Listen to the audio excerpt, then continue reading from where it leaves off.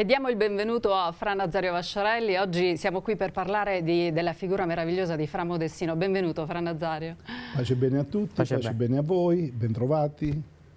Allora Fra Nazario, noi eh, vogliamo chiederti, nel cammino di eh, preparazione alla festa di Padre Pio incontriamo come amico e compagno di viaggio eh, Fra Modestino Fucci, carissimo Fra Modestino Fucci, l'abbiamo conosciuto in tanti, uno dei discepoli e figli spirituali più amati di San Pio. Fra Modestino, sulla scia di Padre Pio, ha fatto della preghiera uno dei perni della sua spiritualità. Stiamo vivendo l'anno della preghiera, con gli occhi puntati sul Giubileo. Al Signore veniva chiesto insegnaci a pregare. In questo, Fra Modestino, come può esserci d'aiuto? Possiamo dire subito che Fra Modestino ha avuto due maestri. Il primo il Maestro con la M maiuscola, nostro Signore, e, e poi Padre Pio. E quindi come modello, paesano, amico, consigliere, Padre Pio è stato per Fra Modestino un po' tutto questo. E l'esempio di, di Padre Pio ha trascinato Fra Modestino, il quale già aveva una predisposizione dei doni particolari per la preghiera, il fatto stesso che avrebbe voluto entrare in una comunità di eh, contemplativi, già l'aveva ben predisposto. Poi l'ambiente di Pietrelcina, soprattutto di Piana Romana, aveva fatto sì che Fra Modestino avesse questa predisposizione alla preghiera. Era un contemplativo operativo, ecco questo sì, sicuro. Quindi anche la terra di Pietrelcina ha fatto? Ha fatto perché, ma io dico sempre così come per Padre Pio, non tanto la città ma la campagna, il, il dintorno del, della città di Pietrelcina, cioè Piana Romana, dove, il luogo dove Padre Pio ha ricevuto i segni delle stimmate. E, e Fra Modestino abitava a poche centinaia di metri da, dal luogo della campagna dei, dei Forgione, quindi ha modellato la sua vita anche nel, nel contesto della campagna. C'è molto legame tra la campagna di Pietrelcina e la campagna di Assisi, per dire. Uh -huh. E il legame tra Fra Modestino e la Madonna della Libera anche era era molto forte, forte ah. molto forte. Non c'è Pucinaro, non c'è Pietra il Cinese che non abbia eh, questo certo. legame filiale con, con, la Madonna della Libera. E fra Modestino, così come Padre Pio, no? ci sono tante eh, assonanze tra... Era lì che ti volevo. eh, certo, eh, tu togli la Madonna della Libera a Padre Pio e e lo abbiamo già dimezzato. Togli la Madonna della Libera fra Modestino e non è fra Modestino e il legame alla preghiera, la recita del rosario, uno dei cardini anche della sua spiritualità.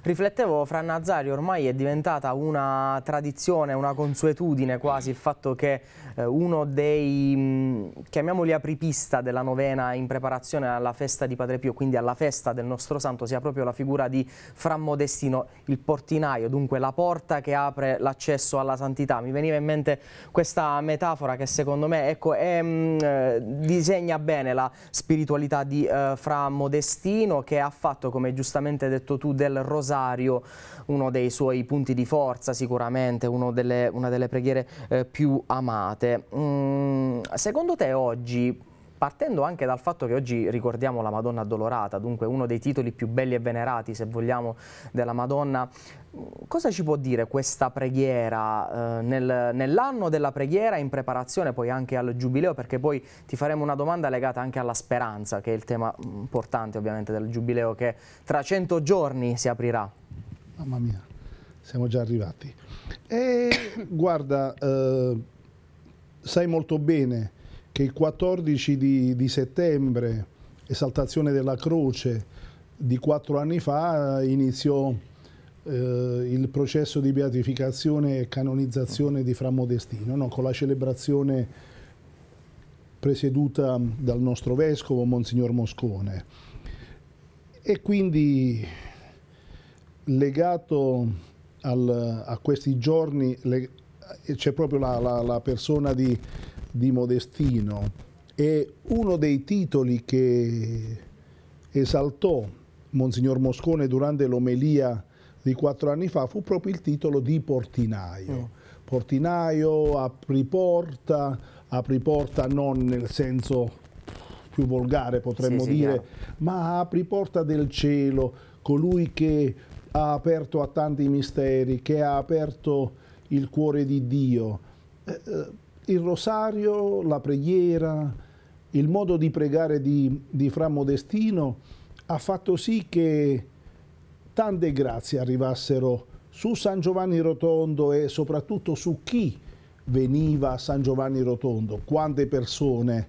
Io in questi anni ho conosciuto diverse realtà di persone che si sono riferite a Modestino in momenti veramente di, di sofferenza e Fra Modestino aveva il crocifisso delle stimmate di, di Padre Pio come luogo dove andare, bussare al cuore di Dio per ottenere delle grazie.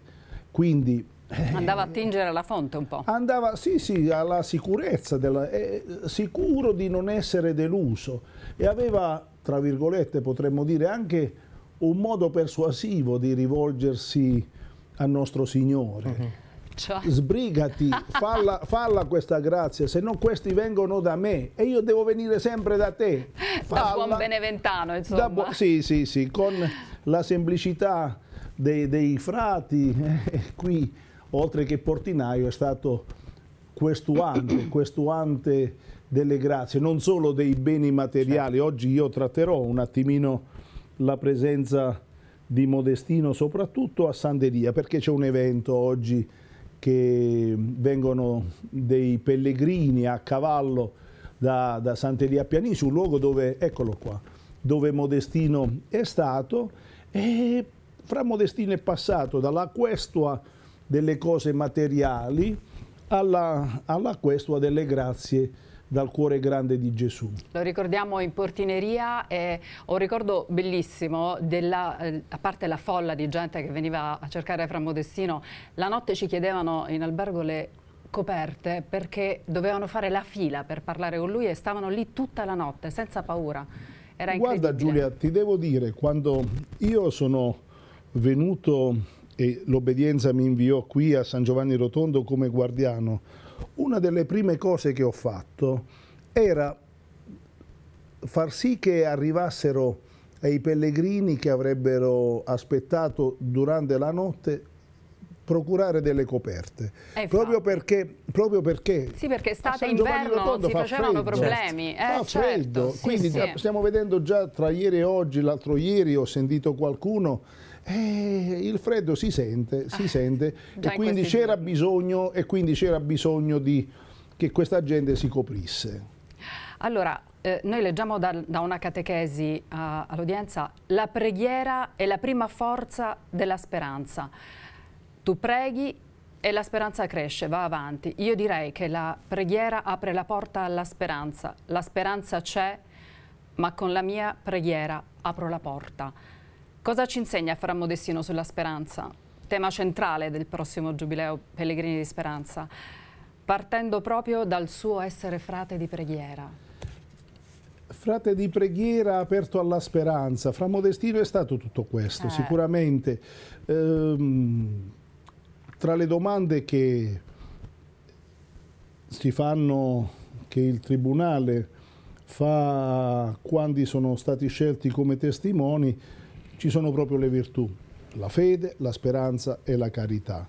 E certamente, a mio modesto avviso, Fra Modestino aveva i piedi a terra e la mente, la mente al cielo. Io ricordo anche nella mia recente esperienza di, di, guardiano della fraternità di Isernia che nella cronistoria di, di Isernia padre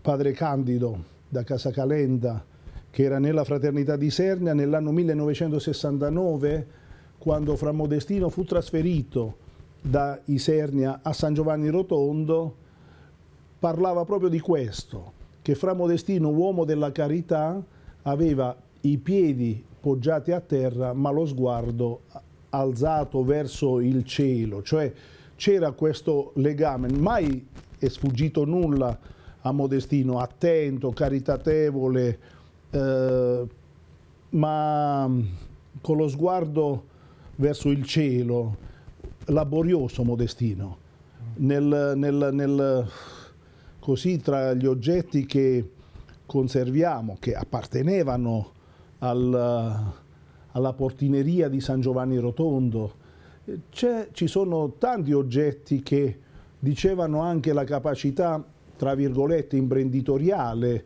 eh, le invenzioni di Fra Modestino, una, questo un aspetto che pochi conoscono.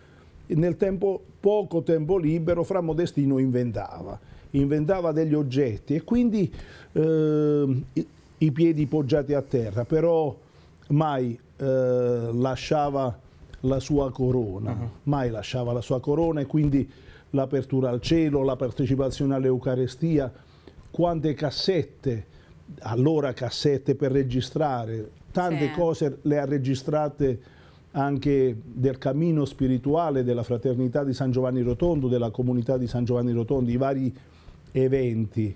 Adesso c'è Padre Pio TV, All'epoca non c'era Padre Pio TV, certo. Eh, certo. però Modestino, come sapeva fare lui, metteva le, le, cassette per poi riascoltare anche quelle catechesi, quelle omelie che venivano vissute qui a, a San Giovanni Rotondo.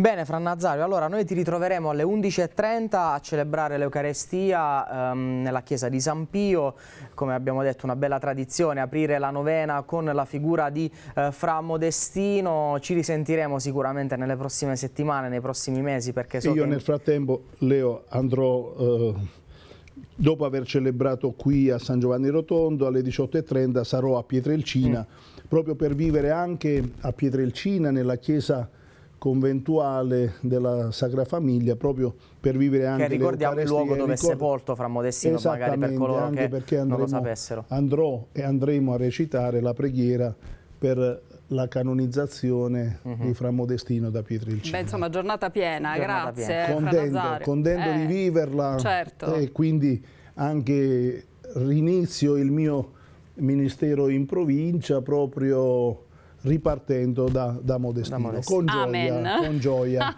grazie, grazie di grazie cuore Fran voi, Nazario. Grazie. Ne approfitto per ricordare che adesso andiamo in pubblicità, ma subito dopo ehm, Giulia ha preparato per noi un servizio molto interessante legato anche alla tematica di oggi, cioè eh, la festa della Madonna Addolorata, perché qui a San Giovanni Rotondo c'è una chicca che adesso Giulia ci porterà eh, a scoprire. Restate con noi e poi ancora in diretta. A tra poco.